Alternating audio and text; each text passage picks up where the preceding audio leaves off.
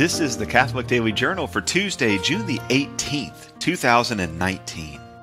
It's the feast day of the martyrs Marcus and Marcellianus. As with so many great saints, they were stripped from the liturgical calendar in the Great Purge of 1969. Why, you may ask? Because we don't know their life story. The same can be said for other saints like Christopher and Philomena. What makes that extra frustrating is that the traditional criteria for being a saint and having a feast day wasn't the overly scientific analysis of what someone wrote or preached like it is today. It was the lived experience of the church. So there was only one real question Did the faithful, over the course of years, turn again and again to that saint for intercession and for miracles? That's it. That's the only question that mattered prior to the 1960s. And so we have some important people like Pope Gregory IV or Tertullian who are not saints. And we have some totally unknowns like Marcus and Marcellianus who had significant followings and to whom many miracles are attributed who are held as saints.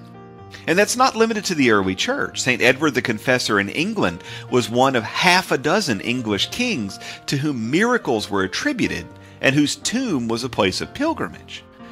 But that all thinned out rather quickly. Edward the Confessor, though, still had a following 200 years later, even when his family line had been replaced by his enemies and his reputation had been tarnished by their propaganda.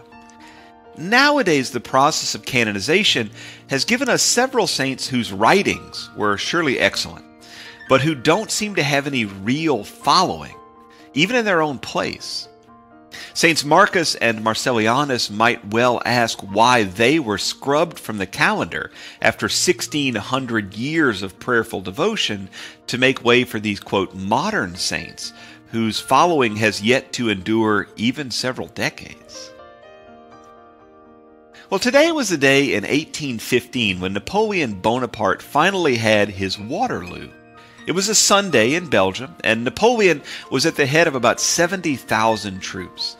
He was facing the so called Seventh Coalition, consisting of the UK, the Netherlands, and Prussia, led by the Duke of Wellington and the Austrian von Blücher. Napoleon had already lost once. He had been exiled to Elba and then managed to return from exile, build up an army along the way, and take back the reins of France under the noses of the people who had just kicked him out. In short, Europe was well enough done with his chicanery, so they put together about 120,000 troops and chose a battlefield right outside of Brussels. Well, we don't remember the name Waterloo for nothing.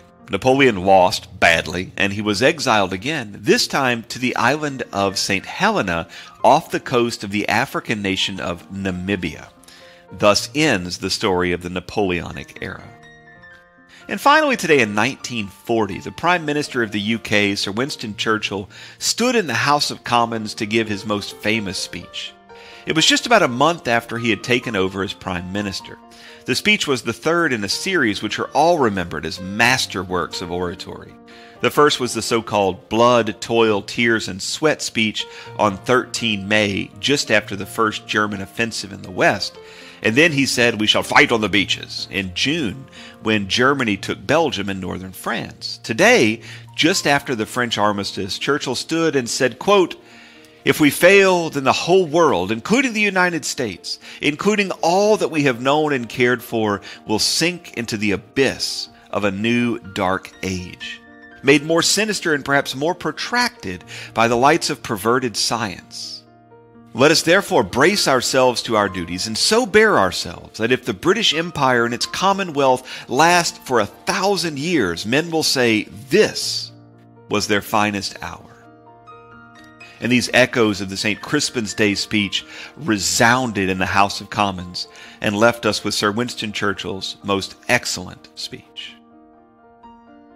The Catholic Daily Journal is supported by listeners like you.